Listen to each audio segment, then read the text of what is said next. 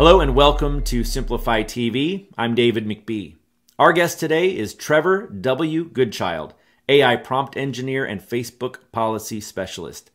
Trevor worked at Facebook in ads, tech, and project management. He's a public speaker, successful blogger, and a best selling sci fi author. Mark Zuckerberg announced his last project internally.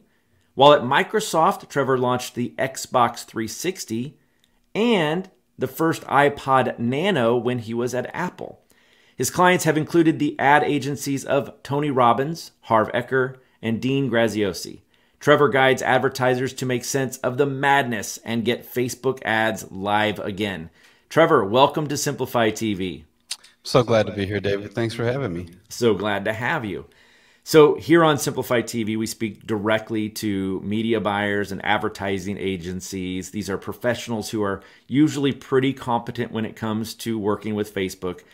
So, what is the most common question or complaint that you hear from folks like that? My Facebook ad account has been disabled. I don't know why. Facebook won't tell me what I did wrong or how to get Facebook ads live again. And I understand that you have some answers to those questions, right? Yeah, I've worked at Facebook really deep. Uh, I went from working in ads to working in tech, supporting Facebook servers and remote access tools. So Nike ran 50,000 ads in 30 seconds on Black Friday, and the servers are like, oh, I can't handle this. And then it gets shut down. I was the one getting the phone call at 3 a.m. in the morning on my Facebook phone, having to troubleshoot with the engineers in Menlo Park on getting Facebook ads live again because when they're down, Facebook loses millions of dollars.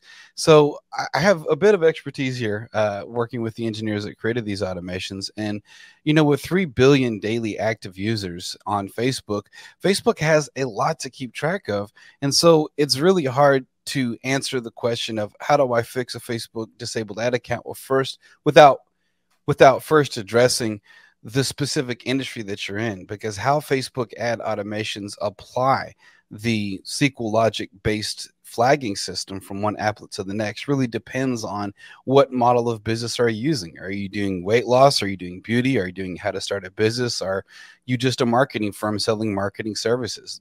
Based on what you're based on which niche that you're actually in, Facebook automations will flag you differently. And I think a lot of people don't look at that. They don't dial down specifically to see how do Facebook's policy bots flag me specifically versus another industry. And so, I mean, the short answer is you really want to audit your funnel for policy violations as a preventative rather than after the fact for damage control method to prevent ad shutdowns. But this does get pretty granular and specific when it comes to what type of business you run and what type of flags you're going to get based on that. So is it mostly just policy conflicts that causes this happening all the time?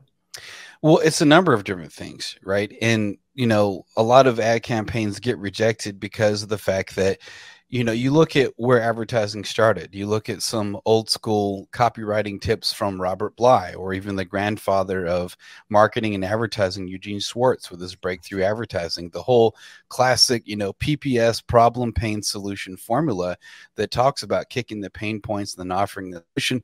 That'll work great for, you know, uh, door flyers, windshield flyers, or in mail marketing, but since we've started digital marketing, things have changed. The game has changed, and people often forget in ad agencies that Facebook is not a public school, it's not a government entity, it is a private website. I'm a one dude.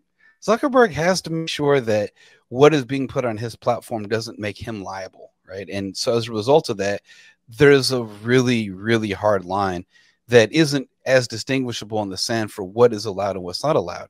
As a result, people that start running ads on Facebook with a conversions first focus often don't realize that they're operating within the echo chamber of Facebook. The ecosystem that Facebook has that's specific to Facebook requires more education as far as what you can and cannot do. It's not the same as classical advertising. So, is there a good resource for them to go and learn the best ways to advertise on Facebook? Well, unfortunately, here's the problem that happens a lot of times is even if you try to get familiar with Facebook's ad policies on their website, there's new ones all the time and every time a new Facebook ad policy gets released on the platform, the automations have to integrate it in a learning mode with the rest of the policies until it works correctly. So there'll be a lot of, you know, incorrect flagging in, in the beginning. But, you know, one of those things is that it's hard to distinguish exactly what's going on when a bot flags your ad because there's very little description of what to do. They usually say, you know, you're violating our ad policies, therefore we had to shut you down. Which policy? Why? How do I get my ads active again? There isn't a lot of advice out there about that. On my blog, jetskishaman.com, I offer, from my experience working at Facebook, some really good hands-on guidance on what to do in specific situations. Any examples of what we might find on that blog? Well, like you know, a golden nugget I could drop as far as some of the information that I share on the blog that is also really helpful for advertisers is the fact that a lot of times people want to immediately jump to saying, oh, Facebook made a glitch. It's a Facebook bug. That's why I've been shut down. I wasn't doing anything wrong. Nine out of 10 times, if I'm auditing someone's funnel and I'm looking at the ads they've ran, I'm like, oh, no, you've violated the policies here, here, and here. The problem is transparency Facebook's not going to explain the kind of subtext or context in between the lines of what the automations are doing and how they're flagging. Really, like one of the biggest golden nuggets I can drop for your audience of media buyers and ad agencies and uh, the like is the fact that more often than not, what I see is that Facebook's mistake isn't in flagging and shutting down the ad. It's actually in approving it in the first place. I when I was working at uh, ads in Facebook, I once had to shut down an ad that was advocating the genocide of all Americans.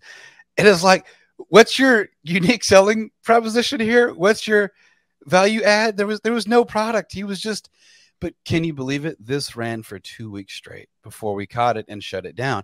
So uh, that's an extreme example, but more often than not, you'll see ads that should have never been approved. And as a result, ad agencies have a false baseline. Now they think, oh, well, because these ads were approved in the past, we'll run 100 more like that. The problem is, is that even if you only had one flag on that original ad that slipped under the radar, right?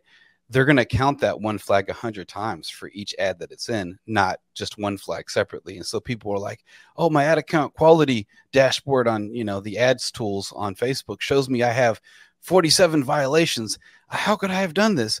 When really it's just one flag repeated over 47 ads because they thought based on a previous ad that was mistakenly approved that that was their baseline. They could base all their advertising adver- they could base all their advertising strategies based upon. So that's one of the biggest gold nuggets i could drop is just because it's approved doesn't even mean it's compliant. You have to look a little closer to make sure that you are following facebook ad policies. That is a really good golden nugget too. It basically says uh, you got away with it before but that is not the baseline. That does not mean you can get away with it going forward right Right. And, you know, one of the biggest questions I get from my clients, and I've talked with thousands of advertisers, both working at Facebook and in my own private firm, is, oh, but they're doing it. How are my competitors able to do this? I'm like, well, they are for now. But a few weeks, they'll probably get shut down and then contact me because it's it's only temporary. A lot of times, and that temporary could be six months. It could be two years where people have run ads that shouldn't have ever been allowed. It's just a bandwidth issue. Facebook is a huge website. There are trillions of pieces of data on there that Facebook has to monitor for a regular content on the newsfeed as well as ads. And they don't catch everything, often for a long time. But that doesn't mean, right, like you said, just because you got away with it, doesn't mean that you're going to continue to. So let's say I'm running an ad. I've been running the ad for six months, like you said, and it, suddenly it's shut down. I look at the ad, I look at the policies. It seems perfectly benign to me. I cannot figure out for the life of me what policy I have broken because, as you said, there's no transparency. Where do I go from there? Well, I think it's important to really shift the lens because what happens is a lot of times people feel very victimized by Facebook. And I'm not saying they haven't really been responsible for victimizing a lot of people. Can you imagine being a small business owner of like a jewelry shop? Half your revenue from the year comes from a Black Friday sale, and Facebook shuts you down because you said one word incorrectly and they won't tell you which word it is or what to do. Like that's terrible. And now like their families are going without as much revenue for the holiday season to buy presents for their children. Like Facebook has caused a massive amount of damage in local communities for small to medium sized business owners. So, you know, I I I would say it, it is easy to get into the victim mindset when Facebook puts down the ban hammer, but really the best thing to do is kind of put on a detective lens and to look at your ads through how Facebook looks at them. What is Facebook's big mission statement? They talk about connecting people, making connections. They want people to stay on the platform. They want people to be engaged in the platform. When you look at your ads through the lens of Facebook and try to pretend that you're, you know, a Facebook bot and speak bot language and understand okay, if I'm a bot that's extremely conservative of what I allow to be on the platform, is there anything that could be misinterpreted? You know, I don't know. You, we may all have that friend that is really easily offended by almost anything. or maybe you've seen them uh, in TV shows or you have friends of friends that are like that. Imagine you're that person and then look at your ads and as silly as that sounds, it can often help if you really raise the bar on how strict you are scrutinizing your own ads. Instead of giving yourself a pass because you made them, think about this from, hey, I have a user base. I want to protect them. What here could threaten that? What here could sound spammy or overreaching or exaggerated or sensational? What here sounds realistic? In one of my blogs, I talk about how, like, how do Facebook automations actually perceive the content you release? And it's really like a 1950s, like domestic moral authority kind of viewpoint. It's not very progressive. It's very like play it safe. Oh, they could be saying this, they could be saying that. Let's shut it down because it's very protective of the user base because that's Facebook's money, right? So if you put on kind of that lens when you look at your ads, it can definitely help. And of course, I'm always here to help to audit funnels too. Trevor, this has been crazy helpful. A lot of good information in this episode. Thank you so much. Before we go, um, I like to ask all of my guests if they have a podcast or a book that they'd like to give a shout out.